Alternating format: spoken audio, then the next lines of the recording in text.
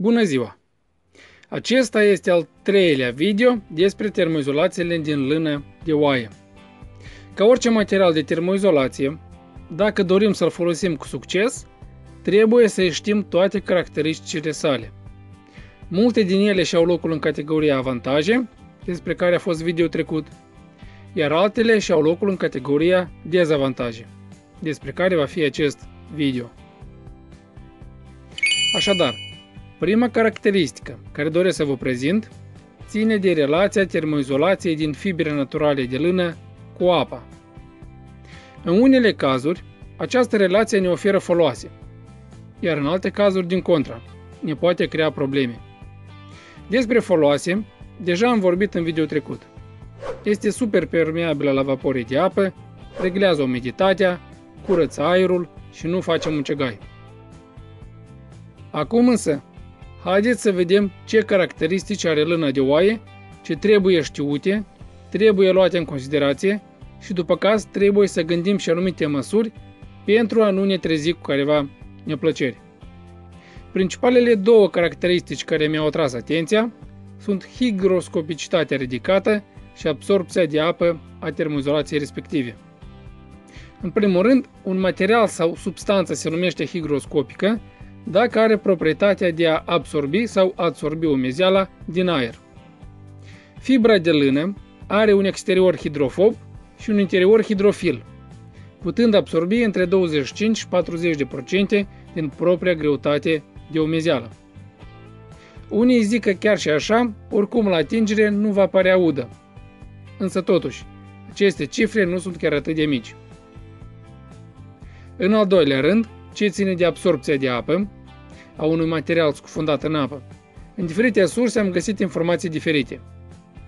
În unele se scrie că absorpția de apă a fost de maxim 1-2 kg pe metru pătrat, iar în altele, ci că absorpția de apă de scurtă durată prin imersie parțială a fost cuprinsă între 4-8 kg pe metru pătrat, iar în altele în diopște se ajungea și la 9 kg pe metru pătrat. Mă rog, diferite tipuri de termoizolație, de la diferiți producători, din diferite țări, eu cred că este oarecum normal ca să existe și cifre diferite. Acum, ce m-a pus pe mine pe gânduri? În general, acești parametri nu sunt răi, însă dacă vom dori să termoizolăm cu lână de oaie, va trebui să comparăm acești parametri ai lânei cu acei parametri ai structurii cu care va fi în contact lâna. Iar în acest sens, dacă acestea vor avea comportamente diferite la vaporii de apă și la contactul direct cu apa, atunci vor putea apărea probleme. Simplu spus pentru dumneavoastră, nu prea se recomandă să folosiți termoizolațiile din lână de oaie în spațiile cu umidități ridicate sau cu variații prea mari de umiditate. Și nici în locurile unde există riscuri ca lâna de oaie să nu dovedească să elibereze din umiditatea excesivă din masa sa dacă o va avea. În principal, cu lână de oaie se poate determoizolat fie la interior, fie în spațiile intermediare închise, foarte rar la exterior. Și chiar dacă termoizolați în aceste locuri, aveți grijă că după caz va trebui să protejați lâna cu bariera contra vaporilor, cu folie anticondens, hidroizolație, etc. 2. Acest material nu prea poate fi folosit cu succes la exterior, acest lucru se datorează marii majorități a minusurilor expuse în acest video despre dezavantaje. Iată de ce. Acest material nu prea se recomandă de folosit la exterior, excepții sunt, însă sunt puține. Și desigur cu asumarea mai multor riscuri. Totuși puteți liber să folosiți acest material la interior, în diferite spații închise și intermediare, cum ar fi la mansarde sau în cazul pereților tripli, de exemplu din lemn sau celetie, unde în spațiul gol al acestor pereți se pune un material de termoizolație, iar lâna de oaie în acest sens este o opțiune. 3. Atenție la siguranța antiincendiară. Am menționat în video trecut despre avantajele acestui material, că producătorii și comercianții consideră lâna de oaie pentru termoizolație un material foarte sigur deoarece acest material este tratat, ignifugat, iar alte persoane chiar au găsit diferite argumente, precum că nu se ajunge concentrația de oxigen necesară ca acest material să ardă. Mă rog, mai multe detalii găsiți deja în video trecut. Totuși, eu iubesc nu doar să cred opiniile oamenilor, ci să mă bazez și pe realități. Iar în acest sens, am consultat certificatele de conformitate și fișele tehnice ale acestui material. Și ce vedem? Clasa de protecție contra incendiului, Euroclasa E. Această clasă nu este deloc cea mai sigură dintre cele care le vedem acum pe ecran. La fel am căutat și am găsit în diferite surse, mai ales străine, că temperatura de aprindere a termoizolației din lână de oaie poate varia de la plus 350 până la 650 de grade Celsius. Cu toate că în documentațiile producătorilor din spațiul românesc am găsit temperatura de 560 de grade Celsius. Nu este deloc foarte rea temperatura respectivă, însă oricum, aflați că temperatura unei flăcări a unei lumânări obișnuite poate atinge și plus 1400 de grade Celsius, deci hiper suficient ca să aprindă lâna. Unde văd eu aici riscuri? Primul risc ține de faptul că chiar dacă nu arde această lână tratată, oricum se menționează că flacăra se stinge și materialul doar mocnește. Păi dacă, Doamne ferește, mocnitura respectivă va fi în contact cu vreo hârtie sau alt material ușor inflamabil, acesta din urmă poate să aprindă în lanț mai departe alte materiale și acest lucru poate cauza în lanț un adevărat incendiu. Înțelegeți? Mocnitura la fel este periculoasă. Al doilea risc ține de teste. Cele mai dese teste se fac pe o placă presată de termoizolație. Acolo da, mai cred că placa respectivă nu ia foc. Însă oare ce să cred eu despre puful de lână de oaie care se folosește ca material de umplere? Chiar sunt curios.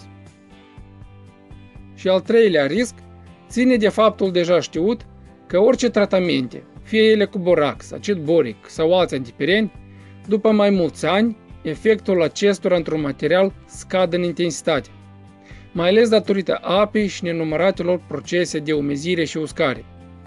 Deci, teoretic, materialul va avea o rezistență la foc mai slabă peste 10 ani decât în ziua când este fabricat. La acest punct, mai atrageți atenția că în documentațiile tehnice acestui material, printre altele se menționează ceva de genul – a nu se folosi în spațiile cu cerințe de rezistență la foc. La fel, nu credeți comercianții sau ciobenii care vă zic că lâna respectivă nu trebuie tratată cu nimic, ci că ar fi rezistentă nativ antifoc. Dacă era așa, atunci oare cum ciobenii dau foc pe dealuri la această lână ca să scape de ea? Și apropo, dacă o cumpărați de la ciobeni cu gândul de a o folosi în condiții casnice, Vă rog frumos, tratați-o numai decât cu acid boric, borax, var sau alte substanțe, tratament care o să vă ajute nu doar pentru ignifugare, dar și pentru a preveni următorul dezavantaj. 4. Acest material găzduiește micile viețuitoare.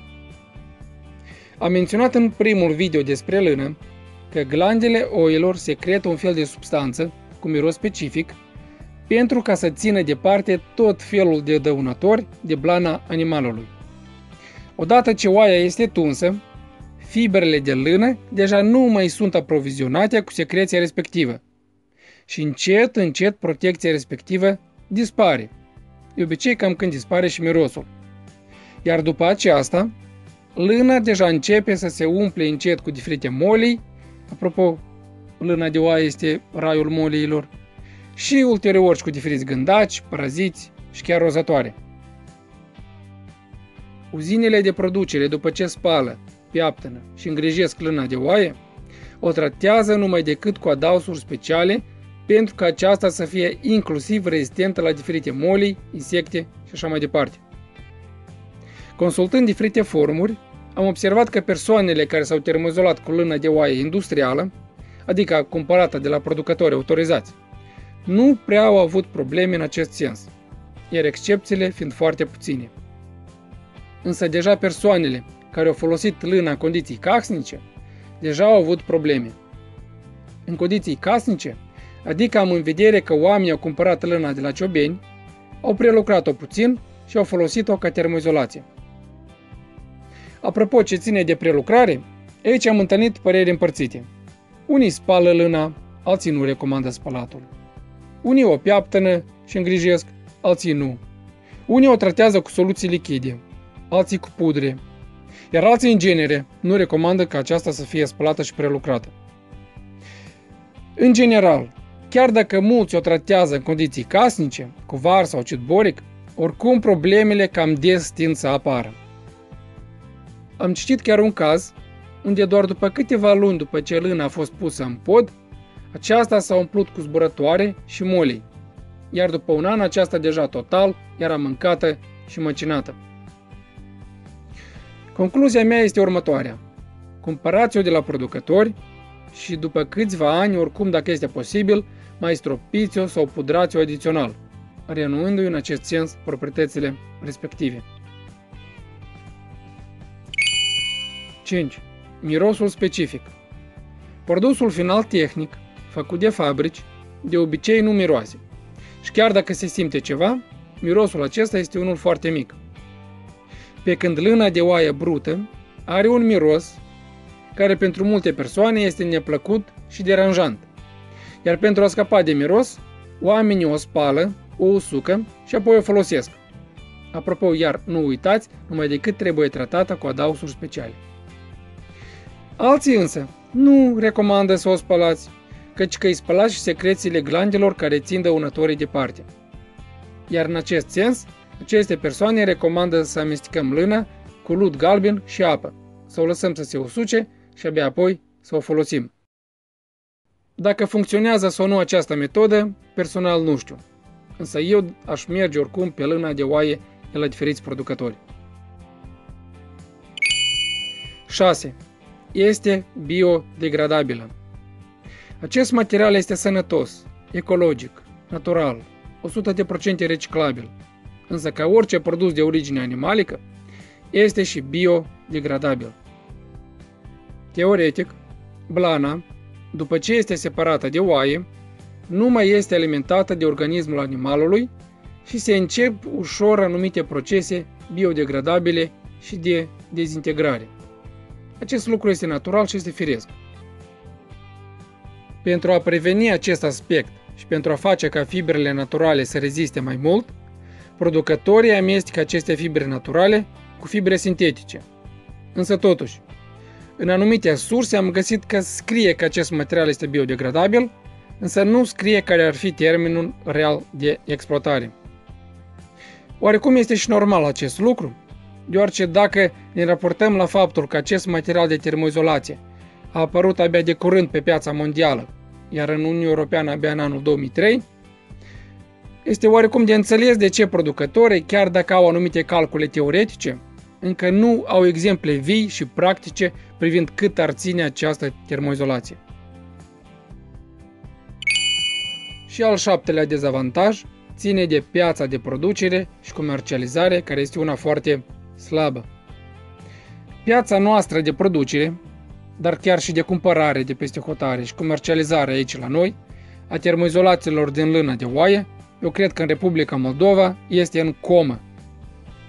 După cum am mai zis și în primul video, eu în România mai văd că mai apar câțiva producători, se mai importă de peste hotare, se mai folosește foarte greu și oricum cu ceva efort se mai găsește în magazine, însă la noi zero, nimic.